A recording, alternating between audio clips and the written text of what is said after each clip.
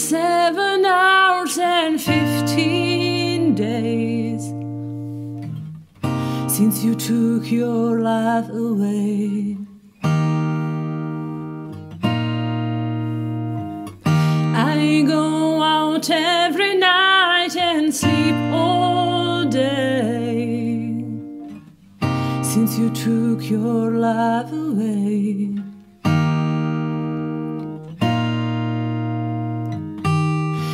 Since you've been gone, I can do whatever I want. I can see whomever I choose.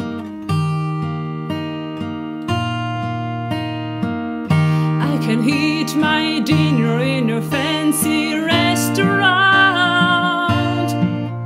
But nothing, I said, nothing can take away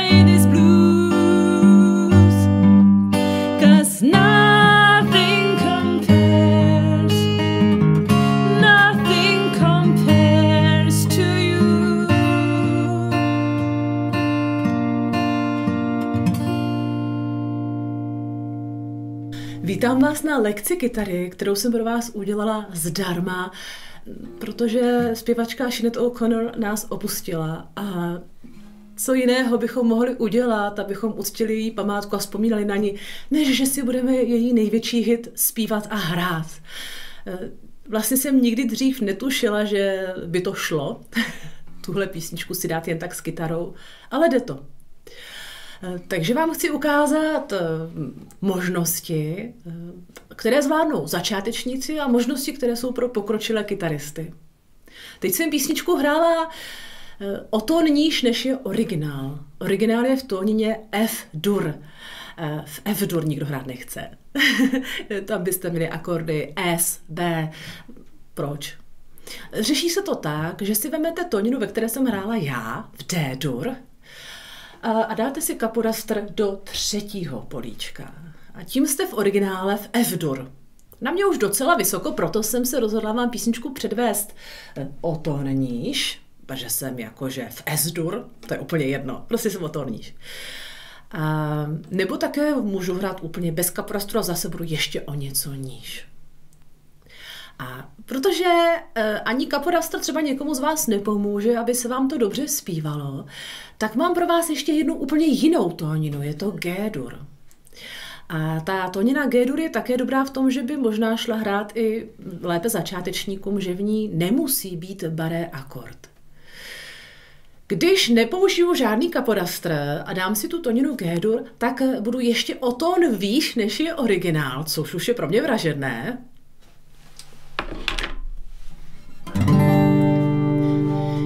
It's been seven hours and fifteen days.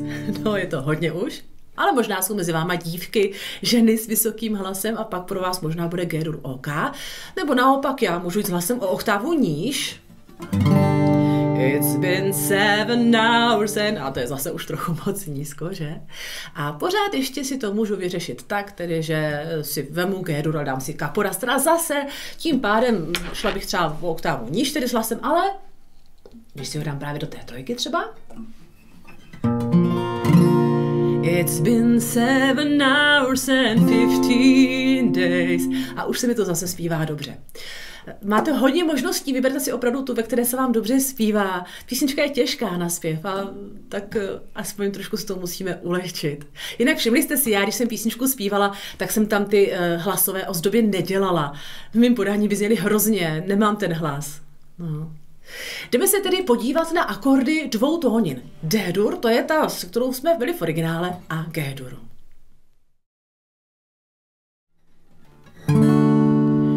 Tónina D-dur, akord D, A, hámy 7. Je to hámy, u kterého pustíme malíček. Jinak hámy je akord, který učím v 20. nebo 21. lekci, už nevím, někde tam. Je to baré akord, který vznikl z akordu ámy, tedy jako kdybyste si ámy chytli druhým, třetím a čtvrtým prstem a posunuli o dvě políčka a k tomu dali baré do toho druhého. Hámy 7. Může být i bez sedmičky hámy, je to jedno. A4, jdete na Ačko z Dčka, tak necháte ležet třetí prst. Nebo jako kdybyste z Ačka vybočili třetím prstem do třetího políčka.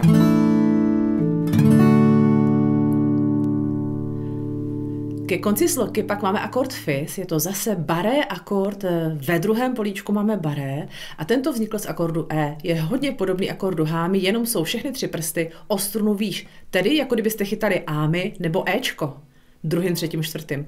Tak právě z toho ámy vzniklo hámy a z Ečka vzniklo fis. Takže baré k tomu. C, G.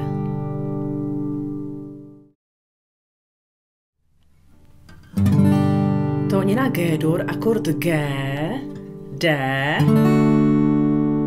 E mi 7. Z Dčka nechám ležet první prst a k tomu dám E mi prvním druhým. Nebo se dá E mi 7 hrát mnohem lehčím způsobem, že z akordu E mi vypustím ten prst, který je na D struně, na čtvrté. Říkám to schválně takhle, protože vy byste klidně mohli E mi držet v druhém třetím, že?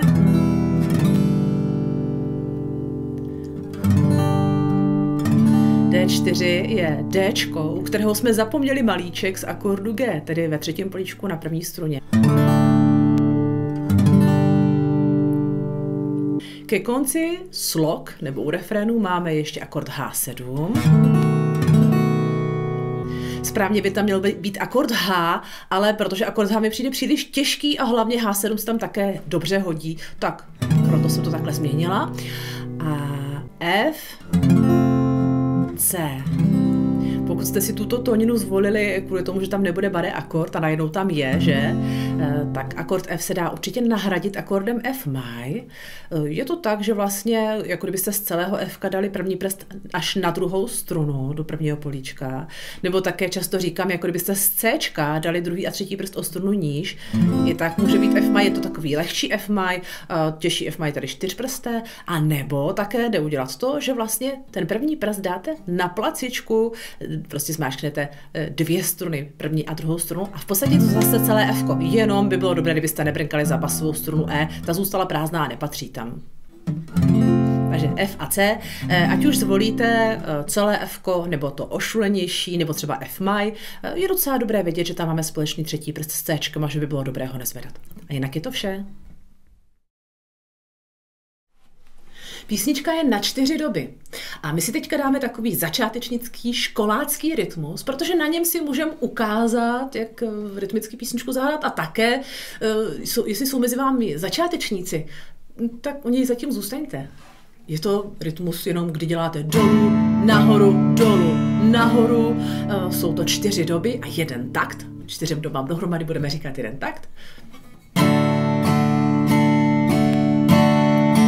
Tak to budeme písničku teďka doprovázet. E, pokud už si cítíte na trochu víc a chcete překliknout na další kapitolu, vydržte, protože se dozvíte kolikrát který akord zahrát a pak už si můžete překliknout. It's been seven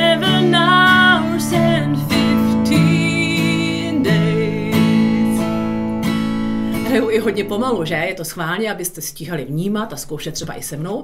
Eh, už jenom, že když začneme hrát, tak eh, se nespívá na první dobu, ale až na třetí, tedy uděláte raz, dva a pak teprve zpíváte raz, dva. It's been seven hours. A, další věc, kterou teda rovnou řeknu, je, že většinou budete hrát akordy po dvou taktech, dvakrát na čtyři doby.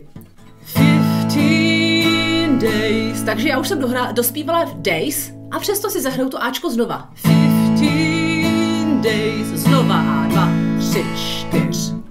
Since you took your life away.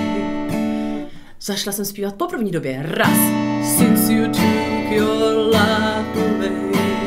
A teď bude jednou D a jednou A4. I go další části té sloky I go out už zpíváme po první době. Než jsme zpívali po dvou dobách a teď po jedné. I go out every night and sleep all day. Zase Ačko dvakrát. Since you took your life away. A zase raz, dva, tři, čtyř a Ačko na jeden takt. A jdeme na další část. Been gone, I can do what... Tady jsem zpívala po dvou dobách. Raz, dva. Since you've been gone, I can do whatever I want. Znova Ačko. I can see whomever I choose. A zase jedno Dčko a jedno A4. I can eat my dinner in a fancy restaurant. Omlouvám, mně se strašně blbě ta písnička zpívá pomalu a asi to taky nezní dobře, že? Ale já se snažím, abyste tam slyšeli, kdy začínám zpívat a tak. Tady teda jsem zpívala I can eat uh, po první době. Uh, budu pokračovat. Restaurant, zase Ačko na dva takty, but, pozor na úplně poslední dobičku, but, nothing, I said nothing can take. Tady byla změna v tom, že vlastně poprvé zpíváme na první dobu to nothing. Nothing, I said nothing can take away this blue.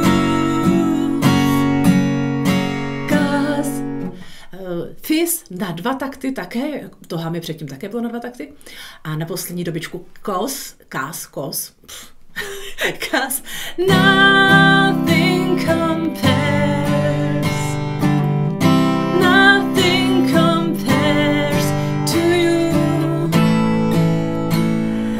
jsou akordy po jednom taktu, C, G, C, G, a potom je Ačko, které by mělo být v originále je vlastně na čtyři takty v tomto rytmu, ale čtyřikrát po čtyřikrát Ačko komu se chce, že? Eh, na tomto principu, který jsem teď předvedla, je vlastně celá písnička, že většinou je tam teda to D, A, hámy a na konci koncovka po jednom taktu D, A, 4. A vždycky na konci sloky je právě to fis, které je na dva takty prostě tak, jak jsem říkala, eh, vlastně jenom refrén se nám potom eh, už zpívá jinak, jenom první refrén je takhle CG, CG, ale potom už je refrén, nebo konec sloky.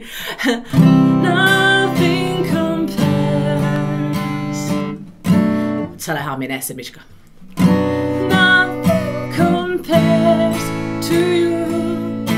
A, takže zase jedu akordy v této části po jednom taktu. A jakmile zaspíváme to you, tak zase by měly být čtyři takty uh, Ačka. S tím pairs je to vlastně pět, ale to už.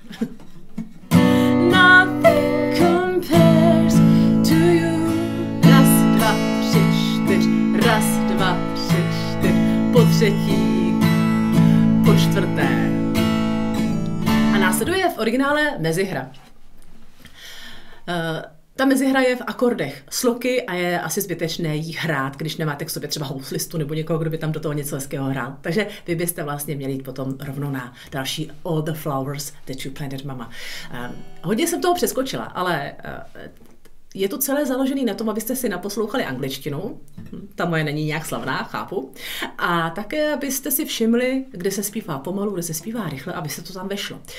Vy nemůžete si přidat v pravé ruce nějaký úder navíc, protože se vám tam nevešla slova. To by nebylo hezké. Je to prostě o tom, že pořád šlapeme stejně a když je tam těch eh, slov moc, hm, tak si tam musíme nějak nahečmat.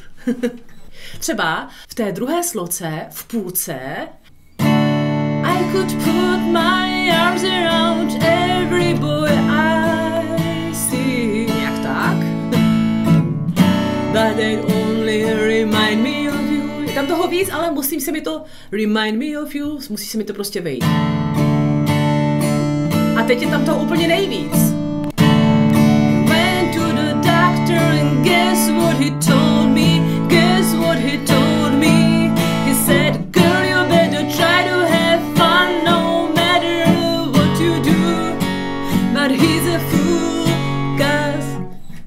Ale ono, víte, že když, jste, když jsme si spolu teďka zkusili tu první sloku třeba, takže tam se často hrálo a nespívalo, tak tady se zpívá pořád.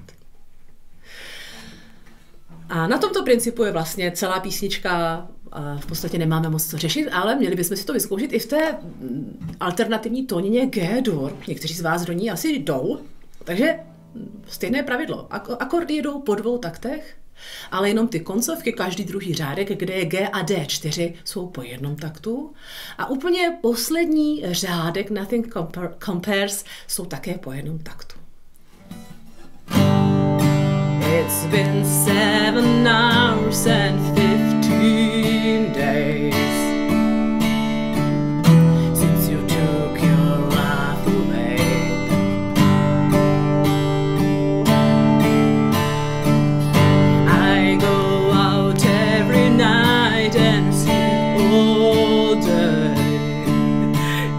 tomhle hrozný, protože mi to nesedí k hlasu, ale to je přesně ono. Mohlo se klidně stát, že tuhle písničku mohl naspívat nějaký pán s vyšším mužským hlasem, jemu by to sedlo takhle, a pak bych si já zase pro sebe to předělala uh, do té toniny D-dur, že by byla originální G-dur a já bych si to předělala do D-dur. To se klidně mohlo stát. Takže uh, nemusíte za každou cenu zpívat originální toninu, může vám sednout jiná. Takže ještě v této G-dur si dáme refren, ale ten, co už je po druhé slovce, tam, co už je i akord Emy. Cause nothing compares, nothing compares to you. To se mi nepovedlo. a pak zase by měli následovat čtyři taktyrečka. Ještě znova a zkusím tam dát uh, místo FK F maj, protože jsem začátečník, neumím F. -ko. Uh, vemu řádek předtím. Girl, you better try to have fun. Girl, you better try to have fun no matter what. But he's a fool, cause nothing compares, nothing compares to you. Po třetí, po čtvrté. All the flowers that you planted, mama, in the backyard. A zase, ale pak už to běží pořád stejně.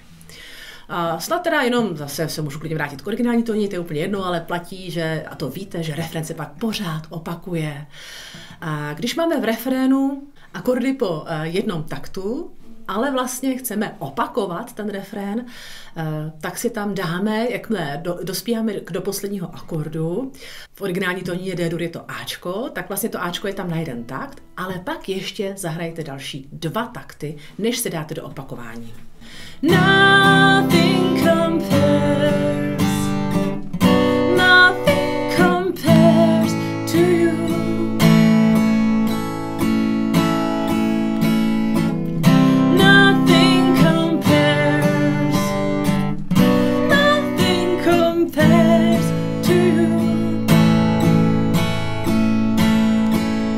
Dva takty mezi to. Nothing compares a tak. A v podstatě v originále se pak jede dostracená, co se týká hudby, tedy pořád ta leta čtveřice akordů. Eh, my dostracená asi nepojedeme, tak můžeme třeba skončit buď to na tom Ačku, přejdu si přes struny, anebo můžu dát základní akord D. jakože je úplně jasno, že je konec. To klidně může být. A to tež platí zase pro toninu G, dur, akorát tam je na konci akord D. Eh, poslední věc, kterou chci říct eh, tady v tom hodně lehkém rytmu, je, že můžete zkusit třeba v té první sloce jenom přejíždět přes struny. Jenom jednou přejedu na, na ten jeden takt. Vlastně na dva takty. Prostě co akord, to jenom jedno přejetí. It's been seven hours and 50 since you took your love away to může být taky moc hezké. A je pravda, že vlastně v písni, když si ji pustíte, se potom až od toho řádku I can eat my dinner, tak tam se rozjíždí teprve rytmus. Tak přesně tam byste rozjeli svůj lehký rytmus. I can see whomever I choose.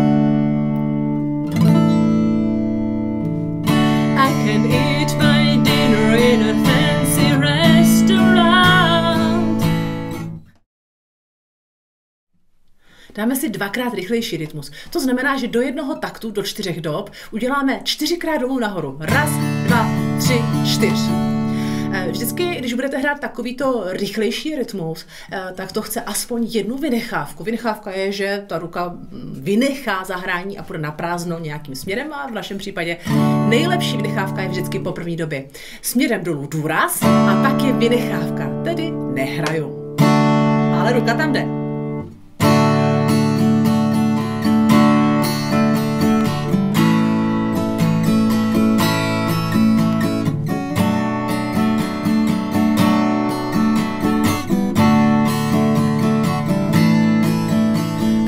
Stačí vědět, kolikrát se hraje který akord, což jsem říkala v tom lehkém rytmu, že jsou většinou po dvou taktech, že?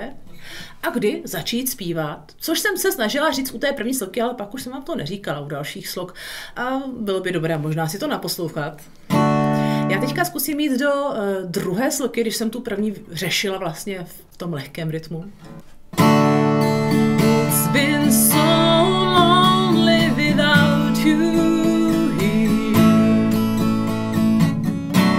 Like a bird without a sound. Jenom poradím, že to zrovna to It's Been je zase až po dvou dobách. Nothing can stop this lonely tears. I tady raz, dva, nothing can stop.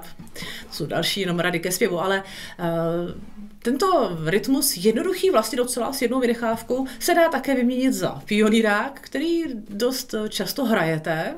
Je v něm ještě jedna vynechávka, že? Teď naše ruka jde dolů na prázdno. Kvůli téhle písni se ho neučte, zase jako není nutný.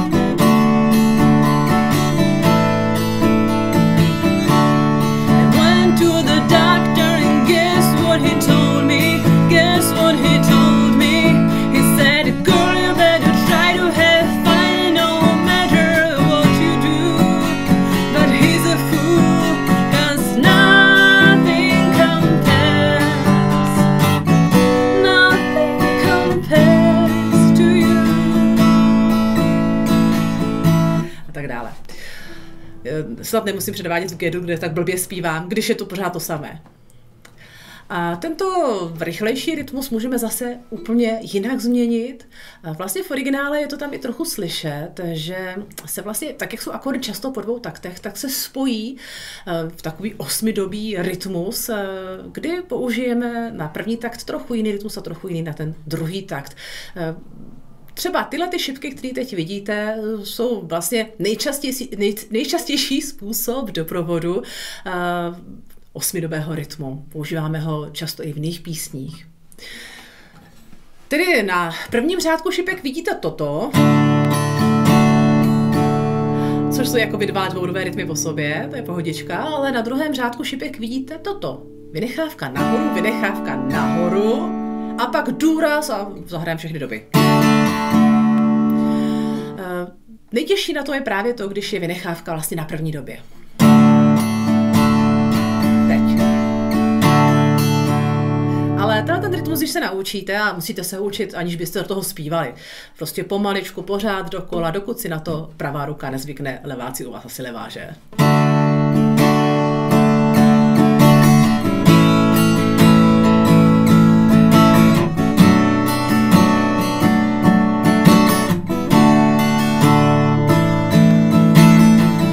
Kde jsou akordy po jednom taktu, eh, tak máme dvě možnosti. Buď to hm, ten eh, druhý eh, akord dáme o půl dobičky dřív, tedy na tu poslední šipku v prvním řádku šipek.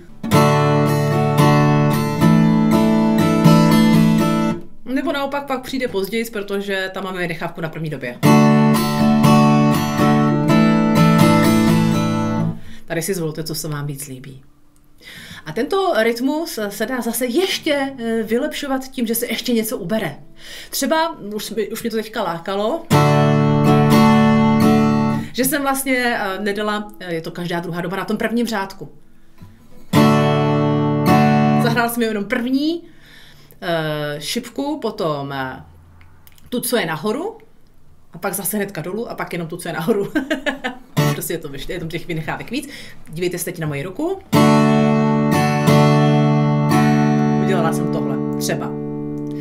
Eh, prostě vždycky, když se naučíte nějaký základ, tak z toho základu potom, když už ho dobře umíte, se dá ještě něco ubírat, aby to bylo ještě odlehčenější. Ale to už je možná trochu moc. No a když se potom rytmus dobře naučíte, trochu zrychlíte, tak už to zase může být all the flowers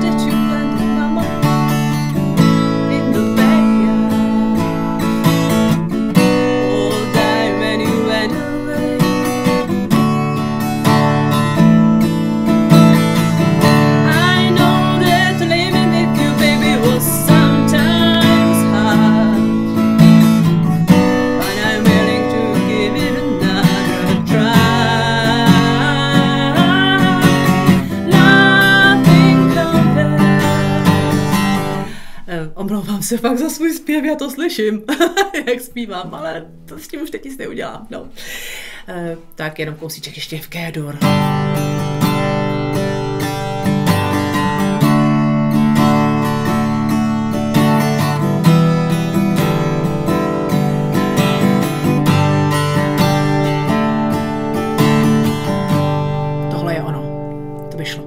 A pak mě ještě napadlo, když jsem si písničku hrála, že by se tam klidně hodilo i toto.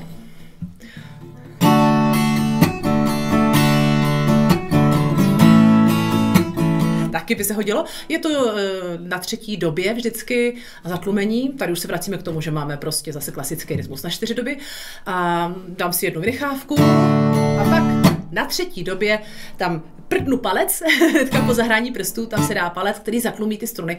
A je to takové ostřejší, potom dělá to důraz, ale hned potom hrajeme nahoru. Takže tam ten palec musím dát tak, aby hned mohl hrát.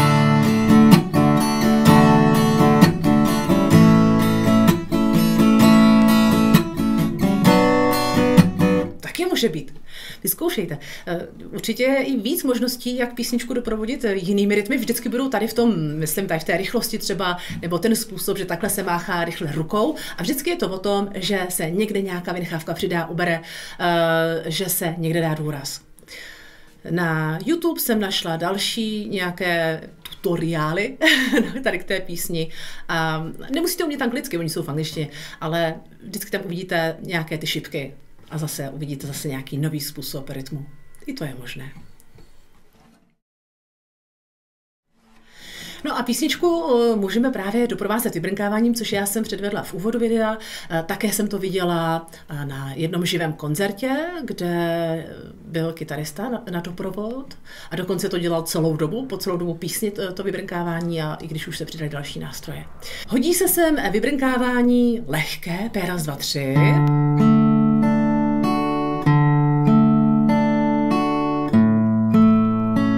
Což je super, pokud s vybrnkáváním začínáte, tak už to můžete hnedka zkusit.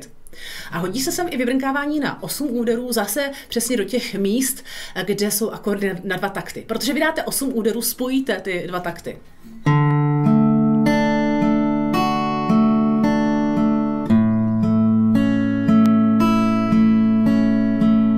Zahraju takhle pomaličku toto vybrnkávání, zahrála jsem vlastně 8 dob. Ale tam, kde jsou akordy po jednom taktu, tak můžete zase udělat jenom B, raz, dva, tři. Vyberte si jakékoliv brinkávání, které umíte. A jediné, co potřebujete vědět, jsou basy. Takže D má bas D, A bas A, máme to v názvu, to je pohodička. Hámy nebo hámy 7, to je jenom bas A. Ještě u baré akordu chci říct, že se může stát, že vám nezazní ten bas, protože baré je náročná věc a e, špatně to chytíte a z basu nic není. Pokud se vám to děje, může vám pomoct to, že si dáte bas na strunu, na strunu D. Lepší dát ten, úplně ten, ne ten pravý bas, e, ale ať něco zazní, než když nezazní nic. Takže klidně D struna.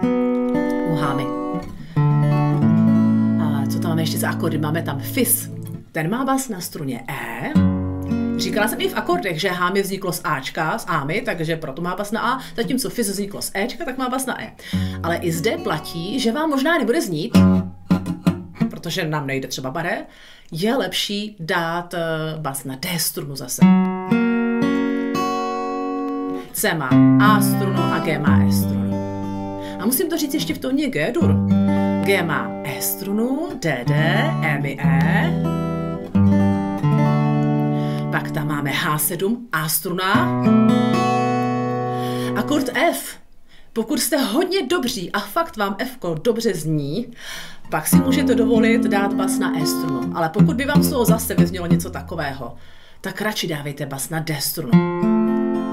A úplně největší jistota je samozřejmě dát F maj, abyste měli jistotu, že vám všechno zazní. Bas D, vždycky to bude bas D. Nebo takové to ošlené F. Bas D. Tak a C bas A, to už jsem říkala. A teď. Já třeba, když jsem písničku předváděla úplně v úvodu, tak jsem třeba dělala toto.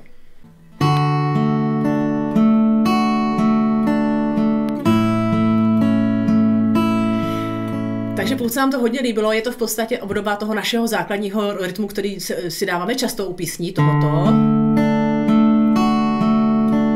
Jenom, kdy ve chvíli, kdy hraje bas na té první době, zahraje také třetí prst. Pak už to stejné. Tak třeba tohle by se vám mohlo líbit, nebo ne, nebo dejte jenom ten náš základ. To se tam také velice hodí. Nebo uh, jsem pak dělala, že jsem hrála současně druhým a třetím prstem. Uh, druhý a třetí prst zahrají současně a vystřídají se s ukazovákem. A to dělají pořád.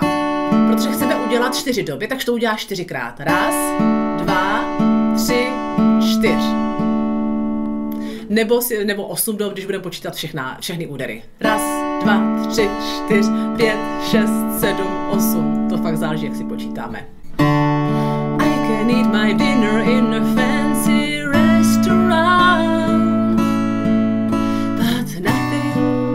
said nothing can take the faintest blues To se tam také velice hodí.